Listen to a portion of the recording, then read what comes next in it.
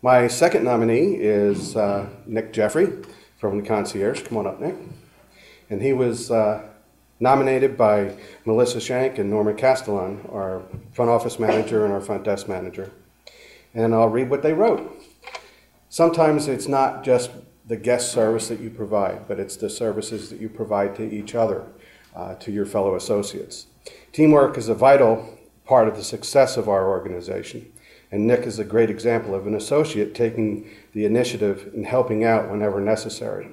Recently, Nick was asked to enter data regarding restaurants, dry cleaning services, shopping activities, etc., into a newly developed concierge directory, kind of a mini phone book, if you will, uh, the yellow pages. But this is in our host system, which is the property management system. Uh, not only did Nick do what he was asked, I think he went above and beyond.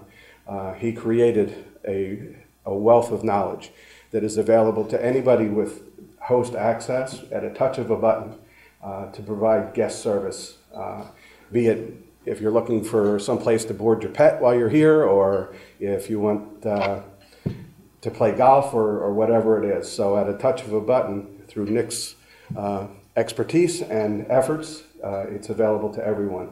And it uh, was a, a much larger project, and he went above and beyond what was expected.